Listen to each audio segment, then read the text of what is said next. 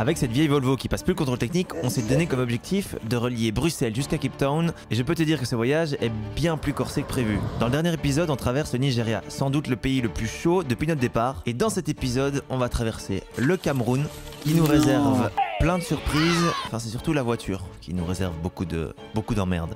On a cassé le châssis.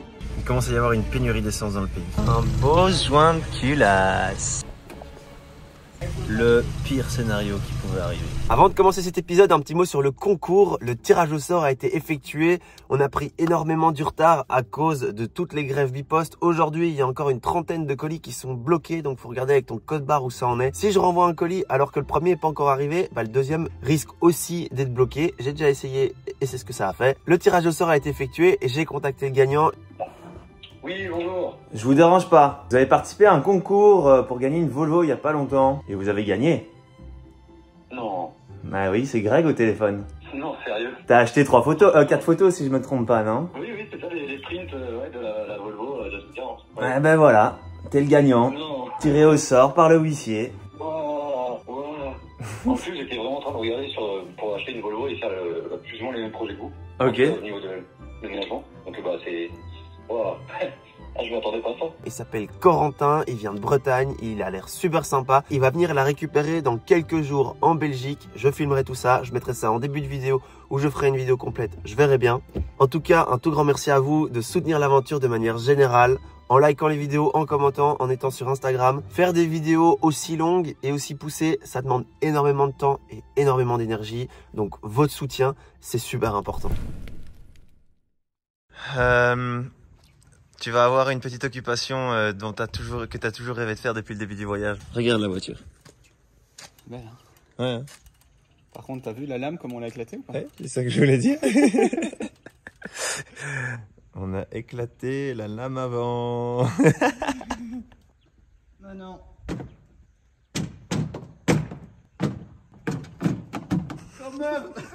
Et voilà, c'est réparé. Bien le bonjour du Cameroun. On se réveille aujourd'hui avec un ciel complètement dégagé. On a vraiment bien dormi, on s'est bien reposé. On a 11 heures de route jusqu'à la capitale du Cameroun, Yaoundé. On sait pas si ça va être beau, on sait pas si ça va être fun, on sait pas s'il va y avoir des spots sur la route, on va découvrir, donc ça va être euh, marrant. Mais pour l'instant, euh, ça a l'air assez vide. Tant qu'il y a du soleil et qu'il fait beau, nous on est content, même si à mon avis les températures vont grimper euh, très très très très haut. Bon, techniquement, Yaoundé, c'est pas le genre de, normalement, de ville qui nous intéresse. On préfère clairement plus la nature, etc. Mais on est obligé d'y aller pour des raisons de visa, pour faire le visa de la RDC et pour réparer ce réservoir et éviter qu'on sème l'essence à longueur de journée. Avant de partir, on a changé de l'argent pour récupérer des francs CFA et pouvoir payer euh, tout ce qu'il faut au Cameroun. Maintenant, on continue notre route sous ce beau soleil, dans ces beaux paysages. Ça va être cool. Ce qui est incroyable, c'est que depuis qu'on a traversé le Nigeria, eh ben, on commence tout doucement à se dire que c'est peut-être possible que l'on arrive jusqu'au Cap. Il nous reste encore plus de 6000 km, mais comparé à tout ce qu'on vient de parcourir, au final, c'est plus grand chose. C'est l'heure de remettre de l'essence dans la voiture vu qu'on a tout perdu de ce qui nous restait cette nuit. On va mettre 30 litres parce qu'on sait qu'on va rouler beaucoup maintenant et puis on verra s'il y a un spot dans 3-4 heures. On s'arrêtera tranquillement et au moins on perdra pas d'essence.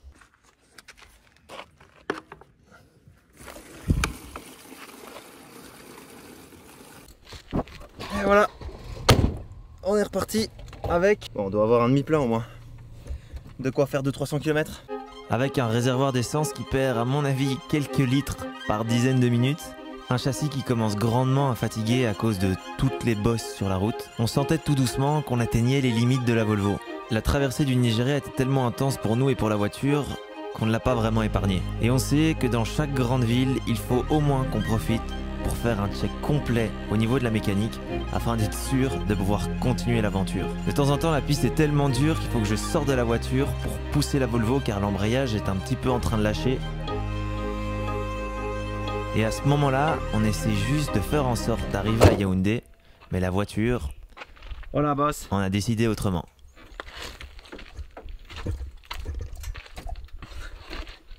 Quand on roule un petit peu trop longtemps, elle a tendance à avoir des ratés dans l'accélération et puis elle s'éteint. Il faut toujours qu'on s'arrête un petit peu pour espérer qu'elle redémarre. Et généralement, on profite de ce temps pour nettoyer les filtres à air et on n'est jamais déçu. Oh, oh mec Wouah Wouah Je pense qu'on a trouvé la- la- le problème.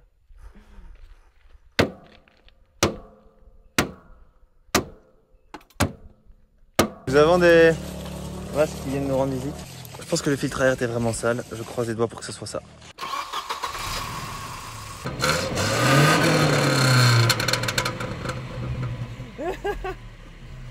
Allez, c'est parti La voiture redémarre.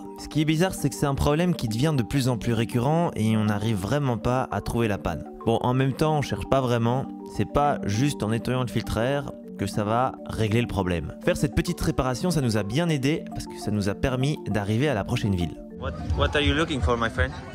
On cherche de l'eau, du pain, des œufs, et puis on va se poser dans un spot, pas loin. C'est trop beau, mec. Est-ce qu'il y a un bordel là On est de retour dans la voiture, direction le spot, il est déjà 17h. Franchement, ils sont trop gentils ici. C'est tellement facile le fait qu'ils parlent français, ça rend les choses euh, vachement plus agréables. Même si quand on parlait anglais c'était très simple aussi, mais là je sais pas, c'est marrant. Nous sommes en direction du spot de ce soir. 17h. Le problème c'est que on peut plus tellement avancer, dehors parce qu'on a plus beaucoup d'essence et que donc ce serait parfait de s'arrêter maintenant. Comme ça on a un réservoir vide et on ne perd pas tout sur le spot. Et de deux, si on avance, on arrive dans une zone où il y a des rebelles.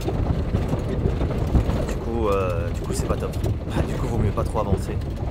Là, on sera juste euh, un peu à côté de cette zone. Ça devrait aller. Hein. On vient de s'arrêter juste à côté d'un petit village. Le village est juste de l'autre côté de la route. On est en plein milieu d'une plaine, plein soleil. Demain, le soleil se lèvera par là, il y a des montagnes, donc on sera plutôt cool. La route aujourd'hui était très intéressante. C'était de la pure piste et moi, perso, je suis trop fan. Parce que franchement, j'ai toujours rêvé de traverser l'Afrique.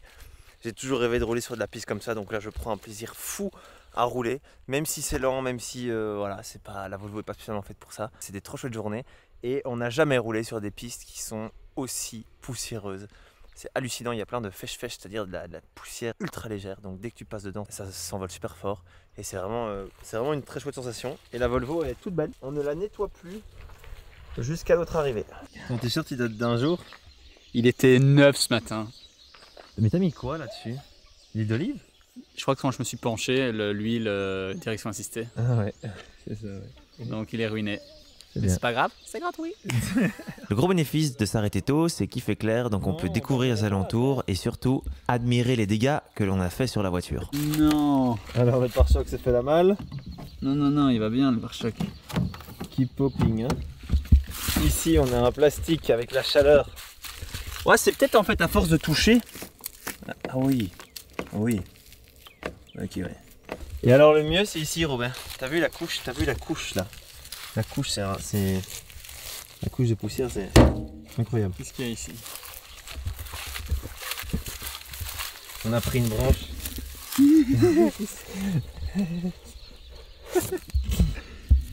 Bon, c'est ce qu'on va faire à Yaoundé. Hein. C'est une quoi votre tente? Waouh Franchement. Heureusement qu'on a des planches en mousse. Hein.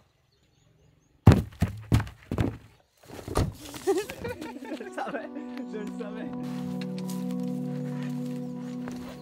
C'est ici que nous allons passer la nuit de ce soir.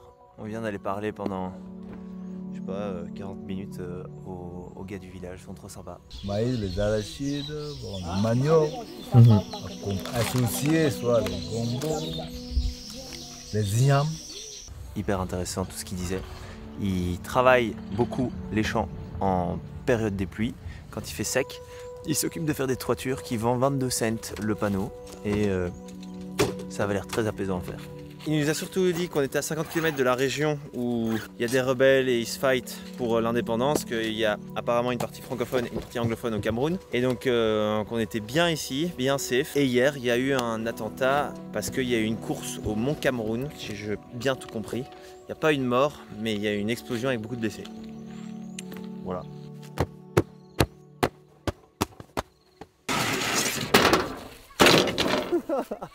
Alors au programme d'aujourd'hui, on a passé un stade encore plus intense au niveau de la poussière.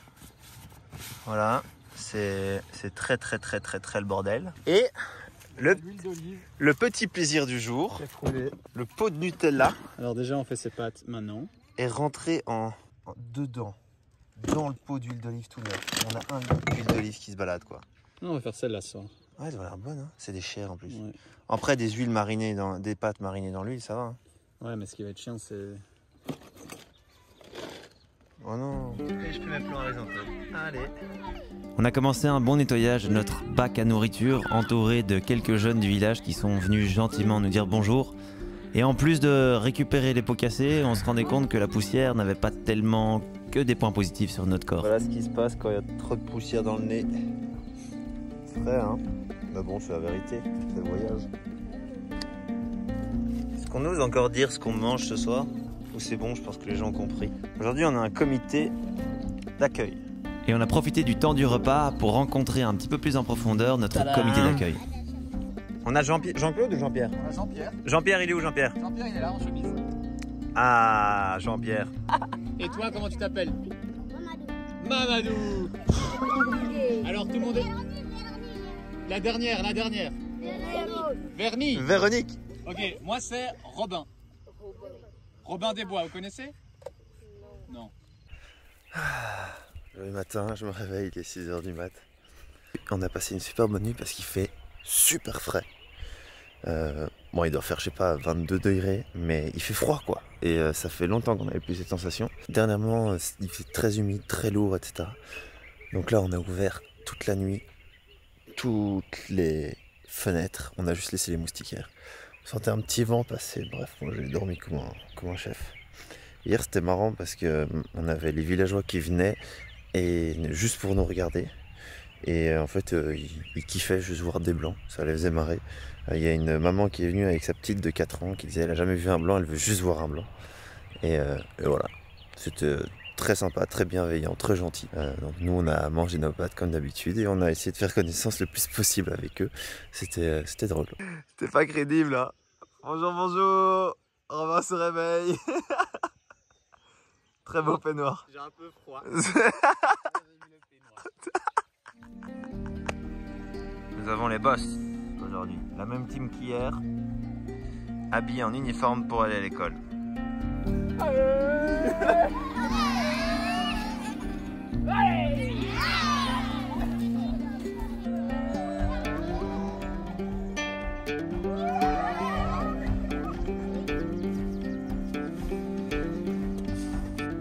Aujourd'hui, on repart pour une bonne journée de route, comme d'habitude. On va se diriger vers Yaoundé, la capitale du Cameroun, pour réparer une bonne fois pour toutes ce réservoir, faire le visa de la RDC.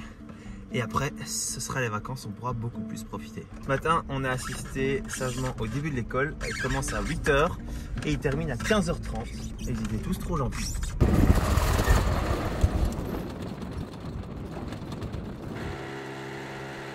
Première station essence qu'on croise depuis beaucoup beaucoup de kilomètres.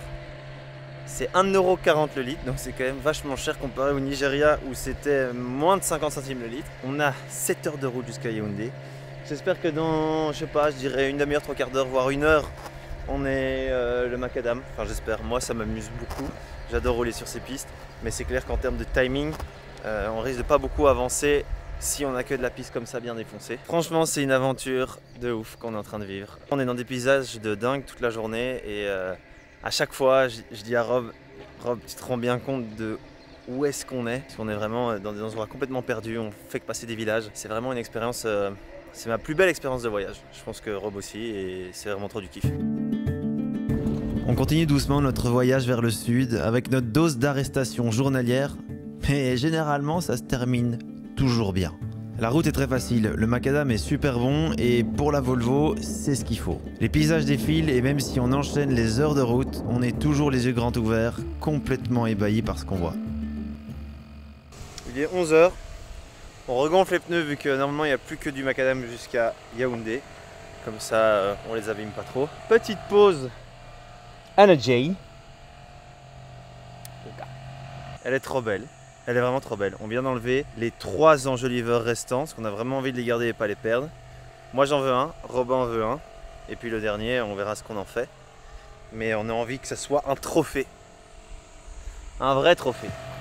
On prend la route tranquillement et honnêtement, 11 heures de route, c'est long, surtout qu'on peut pas tellement profiter vu qu'il faut pas oublier qu'on a un réservoir qui fuit. On croise des milliers de militaires sur le bord de la route Jusqu'au moment où on entend un bruit très bizarre dans la voiture. Attention, la voiture va un tout petit peu bouger. Ouais, c'est bon. Mec, c'est trop. Comment d'un coup ça fait du bruit? C'est quoi? C'est quoi? Ah bah Qu'est-ce que tu fais là? On va prendre mon lait et les remonte. Là, si je recule, ça traverse toute la carrosserie. Ouais, mais c'est pour ça on va le péter nous. Pétez-nous Ouais, mec, j'ai cru que c'était ou la boîte de vitesse.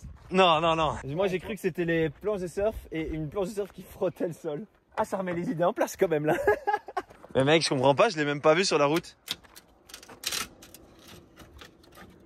C'est réparé. Je pense que euh, va pouvoir commencer à enlever cette partie de la voiture. Non. Ça ne tient plus que par la mousse. Regarde ça, regarde ça. Oui, mais justement. Regarde ça, ça va, pas- ça, va partir, ça va partir dans la roue. Ce qui est sûr, c'est que ça va partir dans la roue et ça va faire comme ça, ça va tout abîmer. Mais on peut, on, on peut faire, on peut abîmer. Hein. Non, ça tient là, il y a une petite vis là-bas qui tient. Y a pas de petite vis, tiens. Attends, regarde, regarde.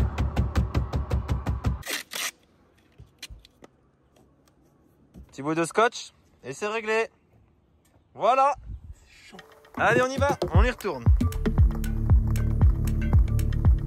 4h08 restant de route pour arriver à Hyundai à Yaoundé. Alors on a quelque chose qui se passe qui est très intéressant sur la voiture. Maintenant, pour tourner à gauche, le volant tourne vers la gauche. Pour aller tout droit, il tourne vers la gauche. Et pour aller à droite, il tourne vers la gauche. Là, Robin tourne vers la gauche. Hop. Et tu es obligé de donner des coups vers la gauche. Et là, pour tourner à gauche, Faut rien faire. faut rien faire. voilà, on tourne à droite là. hein. Et le volant il reste à gauche. Ce qu'on pense qui est en train de se passer, c'est qu'on va avoir du jeu dans une roue, donc elle doit, se passe- elle doit se placer vers la gauche quand on tourne à gauche, et puis quand on tourne vers la droite, elle va se caler vers la droite, emmener la voiture vers la droite sans à tourner le volant. Et pour dire qu'on a encore 10 000 bornes à faire. Un problème supplémentaire qui se rajoute qui honnêtement ne rend pas la conduite très agréable, surtout sur le macadam, là où on sent vraiment la direction qui flanche. La chaleur est très intense et à la longue c'est difficile de vivre tout le temps dans du chaud. Donc souvent on utilise de l'eau qu'on a mis dans le frigo pour se rafraîchir dans la voiture et ça fait le plus grand bien. Après de longues heures de route, on voit enfin le premier panneau Yaoundé, mais la Love Love décide de nous mettre encore quelques petits bâtons dans les roues. A été raté dans l'accélération. On sait pas si c'est l'essence. Du coup, on, on- on mélange le réservoir. Allez, ça va aller quoi. Il nous reste 7 km à faire. Un réservoir qui fouille, une direction qui flanche, une voiture qui veut plus trop avancer, il est temps d'arriver chez le garagiste. Nous sommes à 200 mètres du garagiste. On arrive, on n'a plus d'essence. C'est un très bon calcul. J'espère qu'on va pouvoir réparer cette panne parce que moi, cette panne parce que je pense que le problème, c'est qu'on répare avec des soudures, mais comme le châssis bouge beaucoup dans les pistes, on sent dans les sièges qu'il y a toute la caisse qui bouge. Et à mon avis, le réservoir doit se tordre et les soudures doivent se fissurer. Alors derrière moi se trouve un camion qui s'appelle Transafrica qui trimballe 25 touristes pendant 11 mois. Le camion a déjà fait 15 tours d'Afrique. Les personnes payent entre 8 et 13 000 livres pour être dans le camion qui, sur les pistes qu'on vient de passer là au Nigeria et au Cameroun, il roulait à du 5 km/h. Donc, moi perso, je trouve que c'est le voyage de l'enfer. Tu es avec 25 personnes pendant 11 mois. Je peux pas décider d'où tu vas, etc. Mais après, je suis sûr que ça va. euh, c'est un genre de truc qui convient à des personnes, surtout que ça peut être certainement plus rassurant et au final, une chouette manière de visiter l'Afrique. Parce que, à mon avis, euh, les gars sont bien déterrés, ils font du camping, etc. C'est euh, vachement cool. Bah, c'est intéressant, mais partir 11 mois, moi ça me dépasse. Et apparemment, il y a une autre société qui fait ça. Et ils sont encore plus dans le camion. Je pense qu'ils sont 33 dans le camion. C'est hallucinant. Le, conducteur du camion, qui dort d'ailleurs ce soir dans le camion, tous les autres sont un camping, je pense, en tente, nous expliquait que pendant leur traversée du Nigeria, ils ont été euh, hijack. Donc euh, en gros, il y a des gangs qui sont venus à Lagos. Quand ils étaient dans le trafic, ils ont commencé à défoncer le camion. Euh, ils avaient un guide pourtant nigérien pour les aider.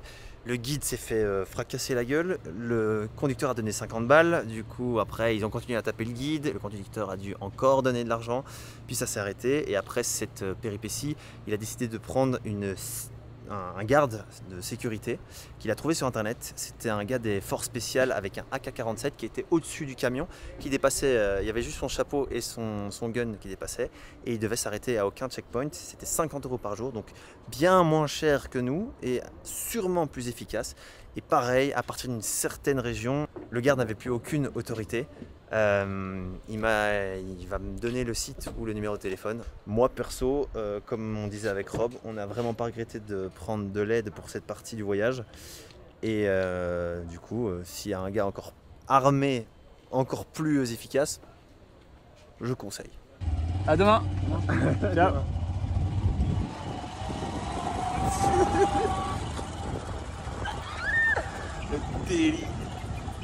Ça vient en direction de l'hôtel où on a déposé la voiture.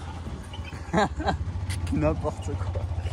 On est à 3 sur la moto avec deux sacs matériels. On a fait quelques allers-retours pour récupérer toutes les affaires qu'on avait dans la voiture pour les amener à l'hôtel. Bien mérité. Mais voilà Ça faisait longtemps un petit hôtel, hein ah, C'est méga chill hein Oh. Ah oui. On vient d'arriver à l'hôtel, euh, on a payé quoi? 35, 50 balles, c'est euh, le budget euh, Pour Yaoundé, c'est. moyen pour Yaoundé, avec un bon standing. Bien content, surtout que le garagiste a l'air super sympa, super efficace. Donc on va pouvoir euh, se poser ici, réparer la voiture et euh, repartir de plus belle. Hein. Tu sens bien là? Je revis. Une douche, une bière, un burger, dodo. c'est nickel. En vrai, moi je pense après ce qu'on vient de se mettre dans la tronche, on le mérite très bien. Prost, hein Ça sérieux avec tu sais pas faire ça. Ouais, je sais pas faire. Ça me tait, hein Le lendemain, on se dirige directement vers le garage avec notre pilote.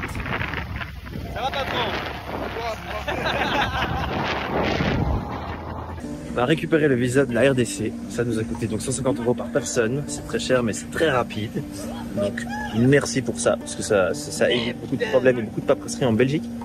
Là, on est euh, retourné pour euh, aller voir l'état de la voiture. Il n'y a plus de roues. Le châssis est plié, vraiment plié. Enfin, le châssis est fendu, vraiment fendu. Ah ouais Ah, ça a quand même un peu bougé là. On a cassé le châssis. Je, je m'en doutais fortement parce que dès qu'on faisait un croisement de pont, je le sentais dans mon siège que la voiture se tordait. Et comme nous a dit Didier, c'est impressionnant qu'on n'ait pas cassé de vitre arrière parce que toute la carrosserie doit vraiment se tordre maintenant que le châssis est fendu. Le réservoir est réparé, la crémaillerie de direction, heureusement, on les a en, pièces de rechange. Donc demain, normalement, ils vont juste euh, souder le châssis. En tout cas, essayer pour faire en sorte que ça tienne plus ou moins. Parce que là, ce qui nous fait peur, c'est la tôle ondulée en Namibie qui fait genre parfois à 15-20 cm de profondeur. J'exagère peut-être un peu, mais en tout cas 15 cm garanti. Et ça détruit n'importe quelle voiture. Donc euh, je ne doute que ça va tenir, mais au moins on part euh, avec l'esprit tranquille qu'on aura fait du mieux qu'on peut pour euh, avoir une route vers Cape Town safe. Ouais. Allons faire internet d'abord. Parce risque de fermer. Ok, go, c'est parti. Ok. Quand on est dans une grande ville, c'est aussi du temps qu'on prend pour s'occuper de faire des petites courses, acheter des trucs qu'on trouve pas dans la campagne. Et ce qui est cool, c'est que notre pilote de moto sait exactement où tout se trouve. On s'est acheté des machettes en souvenir. On a vécu notre première pluie depuis le début du voyage. Et on n'a pas vraiment visité Yaoundé, mais à mon avis, on a quand même déjà couvert une bonne distance à l'arrière de cette moto. Et après une petite visite chez nos copains voyageurs, la Volvo est enfin prête. Merci. Ah, we're back. We're back. On est de retour dans la voiture. Garage très professionnel. Pas trop cher. Très efficace, comme on aime. La voiture est neuve pour aller jusqu'à. Cape Town. Une direction comme neuve, un réservoir qui ne fuit plus. Le cap, on arrive. Aujourd'hui est une belle journée parce que nous étions censés nous diriger vers le Congo. Pour traverser le Congo, aller en RDC et se poser en Angola. Mais nous avons un gros changement de plan. Va dans la direction presque opposée, 5 heures de route pour arriver vers la côte. Et l'objectif, ça va être d'aller tenter d'observer une famille de gorilles. Alors que c'est vraiment pas un endroit touristique. Ils sont vraiment en liberté, ça va être sauvage. Donc euh, ça va être une belle petite expédition de quelques jours. Là on a 5 heures de route. Après avoir quitté Yaoundé, on a quelques kilomètres sur la piste et là en plein milieu de la forêt, plein milieu de la piste, tu as un magnifique autoroute. Voici la future gare de péage Là, tu prends Yaoundé. les tickets. Et voilà Et comme cette autoroute a commencé, il s'arrête brusquement au milieu de nulle part. Les essuie-glaces ont décidé de nous lâcher dans la meilleure position possible. Non.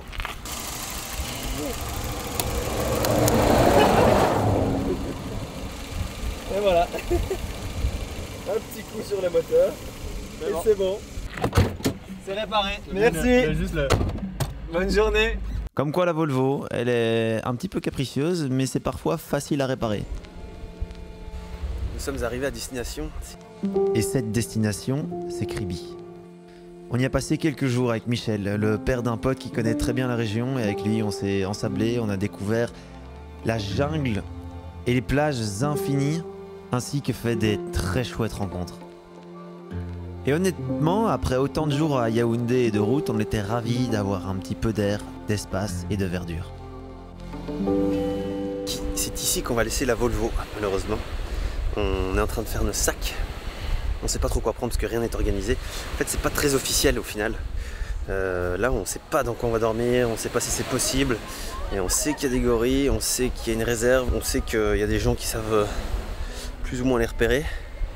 Donc euh, là, on va prendre la voiture de Michel, qui a étudié les papillons pendant des années et qui est passionnant. Et euh, il adore les animaux du coup, et il nous a conseillé lui d'aller voir les, les gorilles. Il va venir avec nous. C'est très très chouette qu'on fasse ça ensemble, parce que ça fait 32 ans qu'il voyage au Cameroun, donc il en sait bien plus que nous, et on en apprend énormément en étant avec lui. C'est un vrai plaisir. On prend la direction d'une petite réserve naturelle qui se trouve juste à la frontière de la Guinée équatoriale et on n'a pas trop d'infos sur où on va réellement. On est à mi-chemin pour arriver à destination. Ici, normalement, il devait y avoir un sanctuaire de préservation des tortues. Apparemment, ça n'existe plus, mais l'endroit est quand même très beau. On est vraiment en bord de plage, sable fin, il y a des locaux. On vient de traverser un petit village, même si le soleil n'est pas de la partie. C'est magnifique, mais on a encore une bonne trentaine de kilomètres sur la piste avant d'arriver à destination. Après quelques heures de route, dont quelques-unes dans le noir, on arrive à destination et on n'a pas tellement les nouvelles qu'on voulait avoir. Nous avons un petit contretemps. Le parc est fermé parce qu'il y a eu un accident il y a quelques mois et il y a un arrêté euh, du gouvernement qui interdit tout touriste de rentrer. Michel a tenté d'appeler, de, de négocier, impossible. Donc les gorilles, c'est pas pour le Cameroun. Pas trop le choix, on doit faire demi-tour pour retourner à Kribi sous une vraie pluie tropicale.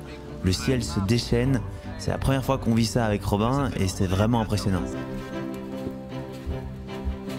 Bon alors hier, c'était pas de notre faute. On pouvait pas savoir que le parc national était fermé parce que sur leur site ils disaient que c'était ouvert. On va essayer de trouver des gorilles autre part. Là, on prend la direction du Congo. Alors au départ, on devait pas vraiment passer euh, sur cette route parce qu'au départ, on devait traverser le Gabon. On a payé chacun pour les visas plus de 100 balles. Mais le problème, c'est que la saison des pluies est bien là et encore plus présente au Gabon. Et il y a une piste de 70 km qui est concrètement impassable pour la Volvo parce que l'eau arrive pour l'instant à la taille. Ce serait possible dans un gros 4x4 avec snorkel. Mais nous, si ça dépasse le genou, on risque juste perdre la Volvo dans cette piste. Donc on doit modifier, on doit pas aller, on ne peut pas aller jusqu'au Gabon, ce qui est dommage parce que moi c'était vraiment un pays que j'avais envie de découvrir parce qu'il y a beaucoup d'animaux sauvages là-bas. Donc on fait un petit, on fait un gros détour vers le, vers le Congo. On espère voir croiser des gorilles sur le chemin. Et après, on comptait aussi passer en RDC, traverser toute la RDC pour arriver en Zambie. Le seul problème, c'est que la saison des pluies arrive aussi. Et avec la Volvo, ce serait vraiment trop bête de prendre ce risque et de perdre la voiture sur la piste. Donc on va passer au Congo, en RDC, en Angola, Namibie, Afrique du Sud. Il y a encore beaucoup de kilomètres. Mais voilà, on a dû un peu modifier l'itinéraire. C'est là qu'on se rend compte des limites de la voiture, mais c'est normal, on le savait, on était au courant. Là, on continue la route en direction des gorilles. Et j'espère des éléphants, que ce soit éléphant ou gorille, je veux juste voir un animal.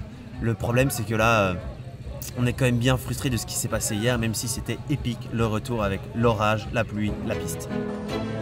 De Kribi, c'est quand même vachement long d'éviter la Guinée équatoriale et le Gabon. Mais pas le choix, c'est soit on va vers le Congo, soit on prend le risque de perdre la voiture. La route s'est vite transformée en piste. C'est un petit peu mouillé, c'est la première fois qu'on a ça depuis le début du voyage. Mais c'est pas encore trop mouillé. Donc ça passe très facilement. L'avantage de prendre cet itinéraire, c'est qu'on reste dans une zone plus ou moins sèche. La saison des pluies arrive à grands pas, et vu l'état des routes, il nous en faudrait vraiment très peu pour rester bloqué. On est en plein milieu de la piste et euh, ils sont en train de refaire la piste. Heureusement qu'il fait pas plus humide parce que c'est de la bien. Ils sont en train de tout foutre en l'air. Mais euh, donc là on attend, tout simplement. Une fois la piste dégagée, on peut continuer notre route.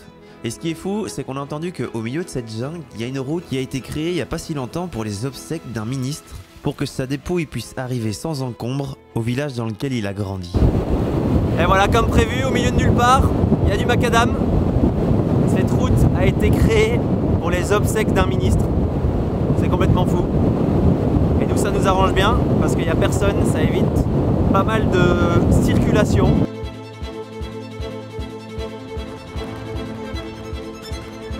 On roule sur le macadam pendant une bonne heure avant de retrouver la piste, traverser les villages, la verdure, dans l'espoir de passer la frontière du Congo aujourd'hui, mais ça semble compromis car on prend plus de temps que prévu. Il est tard. Ça fait longtemps qu'on roule. Le macadam est délicieux, bien meilleur qu'en Belgique. Et euh, on espère arriver à la frontière du Congo ce soir. Sincèrement, la route est très simple. On se disait que franchement, là on prend pas les pistes. On aurait pu traverser la Guinée équatoriale, mais ça aurait fait un visa supplémentaire. Et puis après, on aurait eu cette incertitude de ne pas vraiment pouvoir traverser le Gabon, ce qui aurait été quand même assez problématique. Et c'est un coup à vite fait mettre dans la merde pour euh, une semaine, voire deux, parce que hum, y en a qui ont pris 4 jours pour traverser la piste qu'on essaye d'éviter au Gabon en moto. Et ils ont cru qu'ils ont se faire retirer par un camion, etc. Donc si eux en moto ont galéré, c'est que nous avec la Volvo, on n'aurait pas eu grande chance de sortir. Après, on ne sait pas. On ne sait pas quel est l'état des pistes aujourd'hui. Peut-être que demain ça ira, peut-être qu'après-demain ça n'ira plus. Donc voilà, c'était un détour par la route un peu long, hein, qu'on se le dise. C'était un gros détour, mais nécessaire. C'est reparti. Il nous reste encore 3, 3 heures de route. Je pense qu'on va conduire un petit peu de nuit. Ah, mais la vie est belle, les paysages sont très beaux. Et c'est ça le plus important.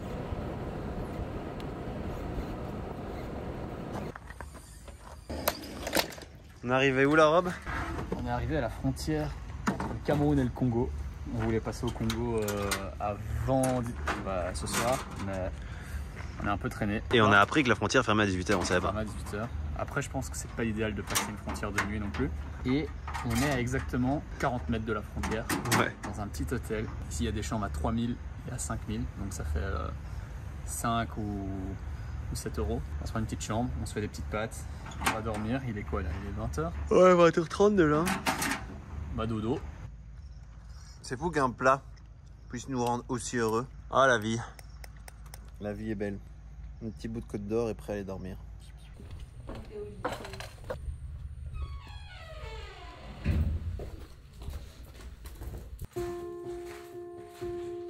Bon matin, il est 7h30, on se réveille, on est à la frontière, on va passer euh, juste après, là on va prendre le petit déj.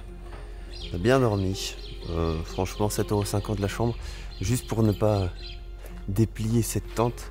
Et en fait, de manière générale, bivouaquer au bord d'une frontière, c'est jamais très malin, parce que c'est souvent des zones tendues et voilà, je pense qu'il vaut mieux éviter.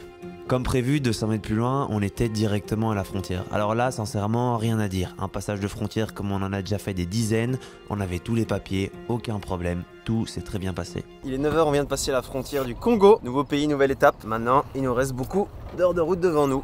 Aujourd'hui, la Volvo est un petit peu fatiguée. Le compteur n'a pas vraiment envie de fonctionner. Voilà. De traverser la deuxième plus grande forêt du monde, juste après l'Amazonie. À travers cette forêt, il y a une, route macadamisée en parfait état. C'est vrai que ça enlève un petit peu de l'expérience parce que, à mon avis, il y a 2-3 ans, ça devait être de la piste. Nous, ça nous arrange bien parce que on a traversé quelques flaques parce que parfois la piste euh, s'arrête, enfin la- macadam s'arrête. Et euh, c'est très très profond. Et franchement, l'eau et la Volvo, ça fait pas bon ménage. Dès qu'on prend une flaque un peu trop rapidement, il tourne sur 3 cylindres. Après un échec avec les gorilles au Cameroun, on essaie de se rattraper en se dirigeant vers un parc national où l'on sait qu'il est possible de voir des gorilles et des éléphants. On a encore 130 km à parcourir avant d'arriver au parc national, parsemé de quelques contrôles de police. Et en s'informant un petit peu sur les applications et sur les informations du parc national, on se rend compte que c'est très cher pour faire des safaris. Et de deux, qu'on pourrait potentiellement croiser des animaux sur la route, mais c'est vraiment au petit bonheur la chance. Bonjour. A- on sait qu'ici pas loin il y a des éléphants, des gorilles, tout ça. Oui. Il y a moyen de voir tout ça? Bon, ici, c'est le parc. Bon, ils traversent la route, souvent, c'est le, soir. Ouais. Ouais. Un peu de vent, bon, partout, hein. Même, même là. Des fois, la journée, quand vous avez de la chance. Ouais. Mais c'est la chance, ouais. Ils, ils traînent là. Ouais, Mais le soir, c'est plus fréquent. Un peu de, un peu de vent. Ouais. Ils traversent la route. euh. Mais faut avoir de la chance. Ouais, il faut avoir de la chance. Et souvent, le soir, c'est autour de 18h, 19h. Et ils prennent là. ils- des fois, ils sont là, ils mangent. Mm. Et puis voilà. Ils traversent la route. Il y a des mouches, hein? Vraiment, ils mangent. vraiment, c'est intéressant. Partout comme ça? Ouais, bon, c'est par saison. On vient d'arriver au parc. Il y a juste un truc qui est très agaçant. C'est toutes ces mouches. Et les papillons, les papillons ça va, mais c'est les mouchettes. Apparemment, en saison des pluies, elles sont... Mais là, elles sont bien présentes. Voilà l'entrée, on attend l'autorisation. Il a dû euh, prendre son téléphone satellitaire parce qu'il n'y a pas de réseau. Pour voir si on peut rentrer. Puis après, euh, je sais pas comment ça va se passer. Mais il y a moyen de voir euh, tout ce qu'on veut, je pense.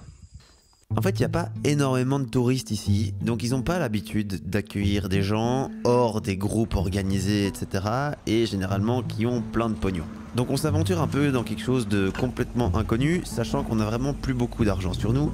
Mais déjà, rien que de pouvoir arriver à la base du parc national et admirer la végétation luxuriante depuis la piste, c'est déjà quelque chose. Bienvenue à la base du parc national. Une des bases. Oh non, trop mignon. de manger. Doucement. Allez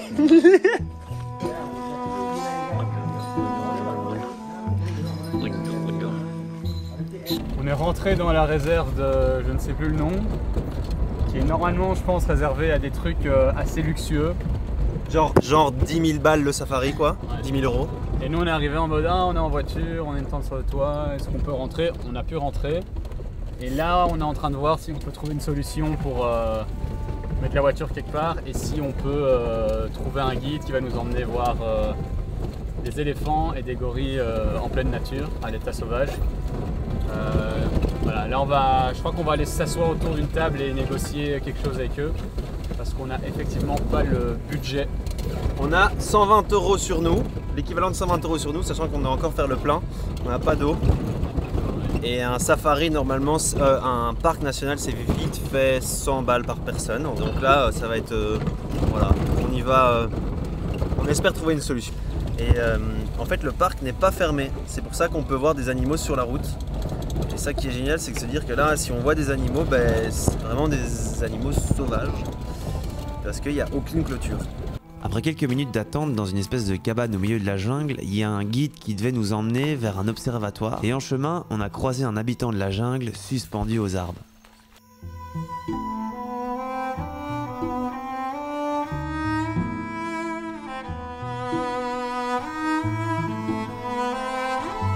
Il était bien mignon. Et heureusement qu'on l'a vu parce que même si on s'est posé quelques heures à un mirador, bah, malheureusement on n'a pas vu grand chose. 16h35. On va rester là jusqu'à, mon avis, 18h30, 19 Dans l'espoir de croiser des gorilles. Il y a 4 jours, ils en ont vu 19. Mais c'était le matin. Donc nous, on tourne notre chance. On a pu observer quelques animaux, dont certains confrères du singe qu'on avait déjà vus en arrivant ici. Le soleil se couchait tout doucement et nous, on n'avait pas vu de gorille. Mais c'est pas grave, l'expérience était sympa. Doucement, on a replié bagages. On devait absolument quitter le parc pour la soirée car on pouvait pas dormir dedans parce que c'était une journée spéciale et qu'il n'y avait pas le matériel de camping nécessaire. À la sortie du parc, on a suivi un guide car il venait de croiser un éléphant sur la route il y a pas moins de 20 minutes. Mais bredouille, on n'a rien vu.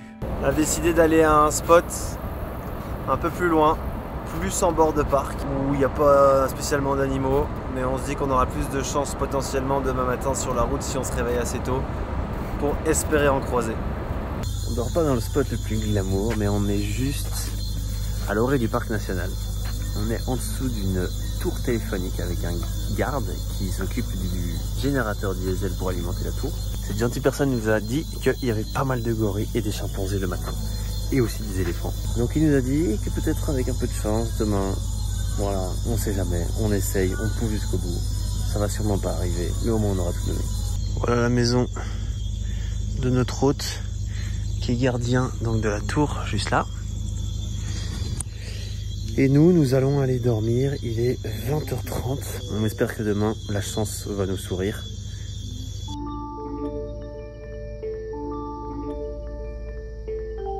On se réveille doucement, il est 6h20, on a dormi eh ben, en dessous de cette belle antenne téléphonique.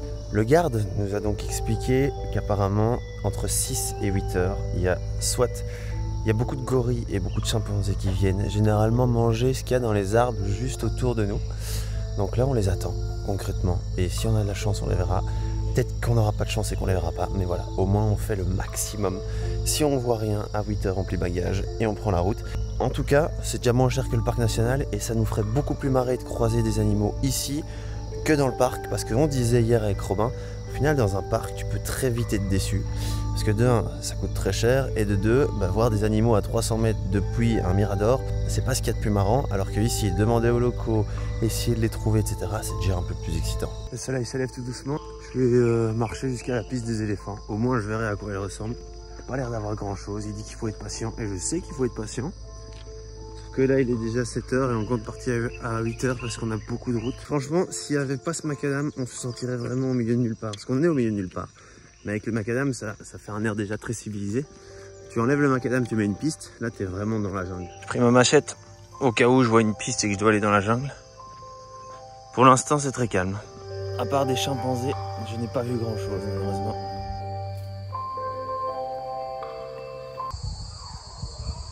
Waouh Il commence à se faire un peu tard. Il est 8 heures, le soleil est déjà bien levé. À mon avis, euh, c'est pas au bord de la route qu'ils vont traîner. Abandon de la mission. Après deux tentatives pour les gorilles, on abandonne tout simplement. Un peu dur à faire parce qu'on voulait vraiment en voir, mais on a envie d'avancer aussi dans notre voyage. On a envie de traverser des frontières et d'arriver en Angola pour se reposer et surfer. Aujourd'hui, on continue notre route vers le sud comme d'habitude. On se dirige vers Pointe-Noire, qui est l'endroit où on pourra passer la frontière vers une petite enclave de l'Angola. Mais d'abord, on va officiellement passer l'équateur. Et voilà, c'est officiel, nous venons de dépasser l'équateur. Pas grand chose à voir à part ce petit monument, mais étape importante du voyage, sachant que la prochaine, c'est le tropique du Capricorne en Namibie. Bravo, cher pilote. Il y avait vraiment beaucoup de choses à voir. Ouais, hein intéressant. Mais c'est bien de le marquer quand même. Depuis Yaoundé, on a la chance d'avoir le réservoir d'essence qui ne fouille plus, donc on ne perd plus d'essence. Mais maintenant, on arrive devant une problématique, c'est de trouver de l'essence. Nous sommes arrivés à la prochaine pompe, on n'a plus d'essence. Le camion vient de partir, donc ils viennent de remplir les cuves. Et là, la file commence à grandir devant la station. Heureusement, on est les premiers et on, il nous reste 30 euros pour faire le plein. Le plein est fait, on peut continuer là. Alors oui, on roule beaucoup, mais c'est notre choix. On a vraiment envie d'avancer dans ce voyage, et le fait que la Volvo ne soit pas un 4x4 ne nous permet pas de découvrir le pays de fond en comble de toute façon. Nous sommes à Oyo, dans la ville du président. Beaucoup, beaucoup d'argent dans les bâtiments. Beaucoup de belles voitures, plein de Land Cruiser. C'est vraiment la ville du Land Cruiser, ou bien peut-être le pays du Land Cruiser, on le verra. Il y en a partout. Là, on s'est arrêté à un petit truc pour manger. Ils nous fait des omelettes qui ont l'air vachement bonnes dans un pain. Il a dit normalement c'est 500. Ouais. Vu que je suis blanc, c'est 600. Ah ouais? C'est honnête, hein? Mais même si on roule beaucoup, au final, les petits arrêts, les rencontres pendant les pauses, ça fait toujours du bien. De retour sur la route, toujours sur le même macadam, toujours avec les mêmes paysages. On a 342 km jusqu'à Brazzaville. Et la route, je pense, sera comme ça jusqu'au bout. Voilà. Donc ils ont réussi à construire un, un support pour supporter encore plus de marchandises. Pas mal, hein On reste vigilant sur le macadam parce qu'en rien de temps, ça se transforme en piste et pas des moindres. Ici, si on, je pense on était venu quelques jours plus tôt, ça aurait été la bonne gadoue. On va passer les 320 000 km avec la Volvo sur du Barry White au Congo. Qui l'aurait cru qu'elle allait tenir aussi bien et aussi longtemps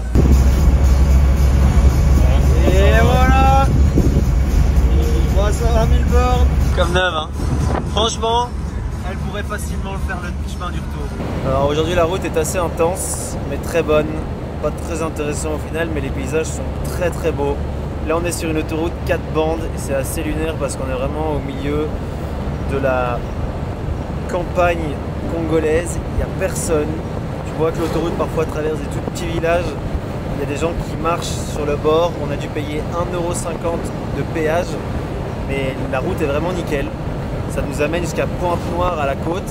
Et là, on vient de vivre un moment exceptionnel avec un coucher de soleil magique qui éclairait les collines. C'est très beau, même si ça aurait été plus joli avec de la piste, mais on aurait été nettement moins rapide.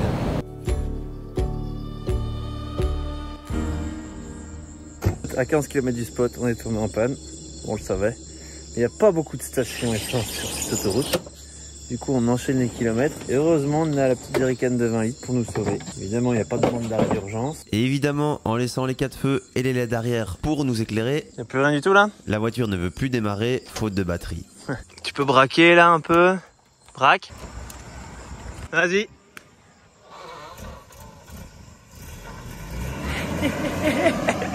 Chouf Et voilà, on est de retour en route, plus de batterie. Problème réglé, heureusement on était un petit peu en porte.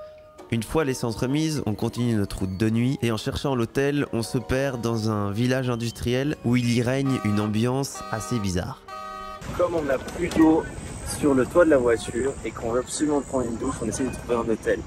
On est dans une ville industrielle et c'est délire. Donc là, on, on essaie de trouver l'hôtel. C'est pas évident.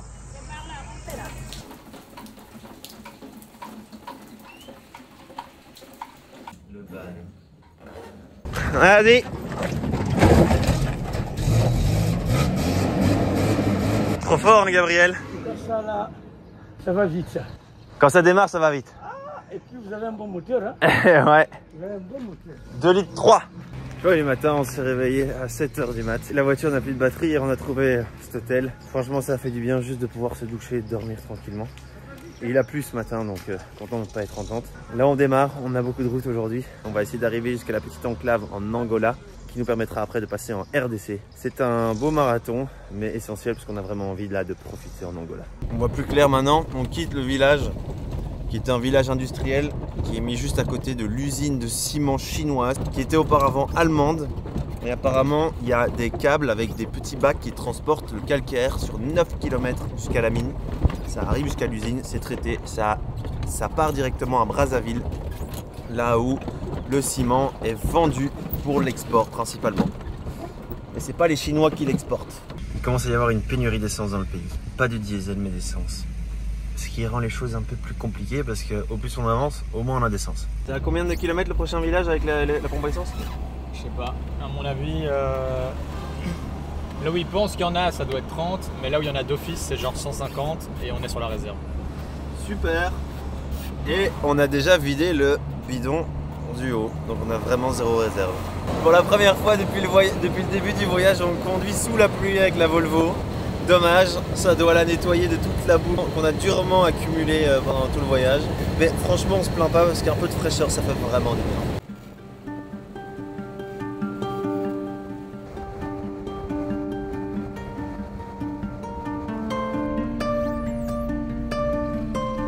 Deuxième pompe qu'on fait, on est à la moitié de la réserve.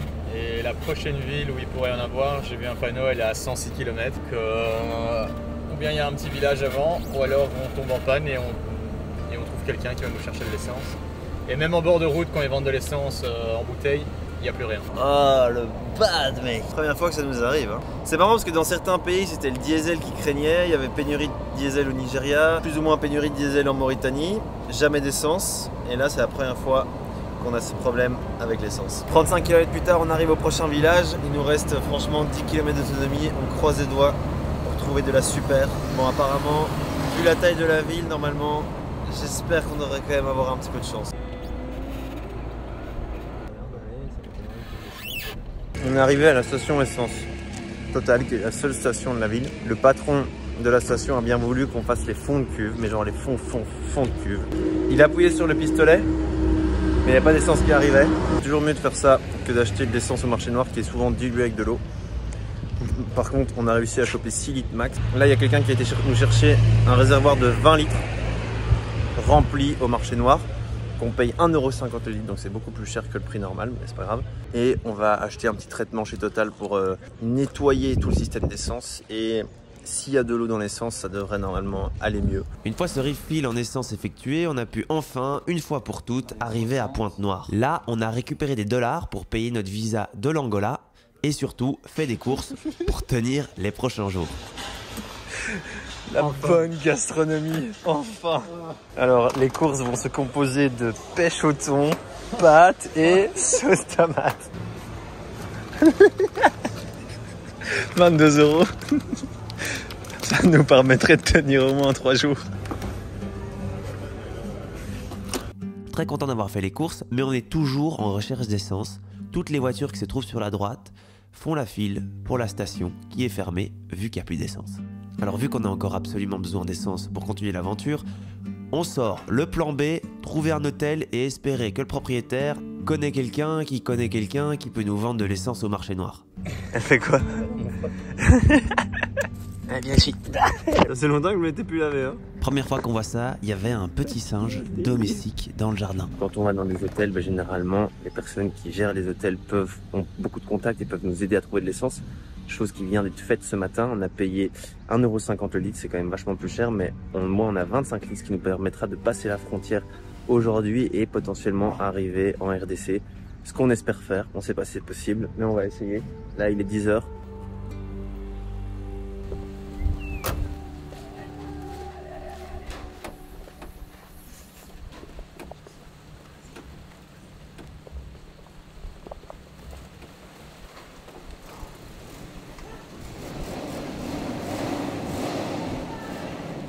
si on n'arrivait pas à l'allumer dans les 10 minutes où on se prenait une drache nationale Ça s'annonce sportif.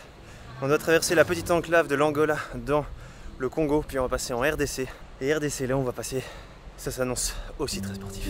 Première fois qu'on conduit sous la pluie et on sait pas pourquoi, mais la voiture commence à surchauffer alors qu'on a plus de batterie. Du coup, petit problème, parce que pour qu'elle refroidisse, faut qu'on l'éteigne, mais vu qu'on a plus de batterie, on n'arrivera pas à la rallumer. On s'arrête sur le côté de la route pour regarder ce qui se passe et j'ouvre ma portière et là, il y a un van qui passe et il tord complètement notre porte. S'il vous plaît, monsieur. Une porte, enfin, t'as beaucoup d'espace pour sortir. Pour fermer.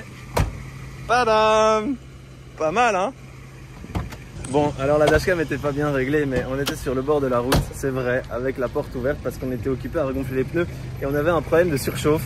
Donc on a laissé la porte ouverte parce qu'on devait laisser passer le câble.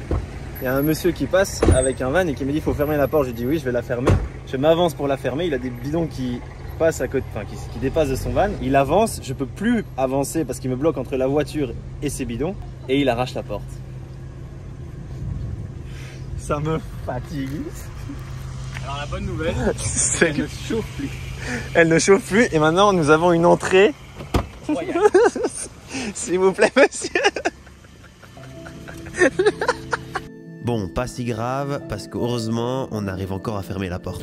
La Volvo est toute neuve, Rob. Alors la Volvo a encore pris un petit coup. Et cette fois, c'est pas moi. Mais ça va plutôt pas mal à la Volvo au final. C'est un, souvenir. C'est un beau souvenir. Arrivé à la frontière angolaise, tout se passe comme prévu. L'administration n'a plus de secret pour nous et les frontières sont nettement plus simples à passer. On vient de passer la frontière en Angola. Et ce qui est trop bien, c'est que du coup là, on a déjà le visa, on a déjà fait toutes les démarches pour quand on repasse de la RDC en Angola. Parce que là, on est vraiment dans une petite enclave. On va devoir ressortir. Donc là, en gros, il n'y a plus que la RDC. Et puis, c'est easy. À peine passé la frontière, on a un petit problème de surchauffe. On commence la journée donc avec une pénurie d'essence, une porte qui se fait déglinguer. On passe la frontière, ça nous prend 3 heures. Et maintenant, on a une surchauffe. Je pense que c'est juste qu'on doit avoir une fuite au niveau du liquide de refroidissement. Parce que le viscocoupleur ne s'active pas, ce qui est pas normal. Et ce qui est sûrement le cas quand il n'y a pas de liquide. D'où vient cette fuite Cette fouille, Attention. Ouais. No more. No more. No fucking T'as more. vu ça, la tronche du truc là? Ouais, c'est soit le radiateur qui a pris un coup, soit euh, une durite qui a lâché. Forcément, quand on enchaîne les kilomètres, on enchaîne aussi les galères. C'est normal. Comme d'habitude, on prend la direction de la prochaine ville, Cabinda, en croisant les doigts pour que cette panne soit simple à réparer. La voiture surchauffe, on comprend pas d'où ça vient. On a potentiellement trouvé une fuite en dessous euh, au niveau du châssis, mais ça paraît très bizarre. En tout cas, c'est de là qu'il y a de l'eau qui coule.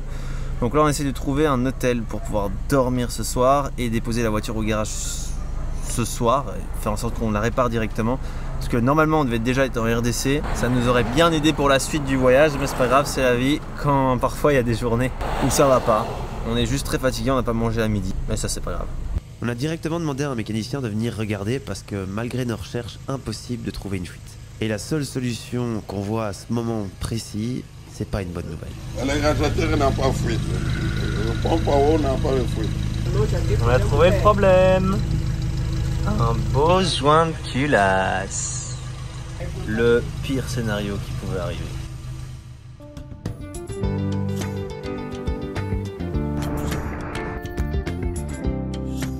Bienvenue en Angola.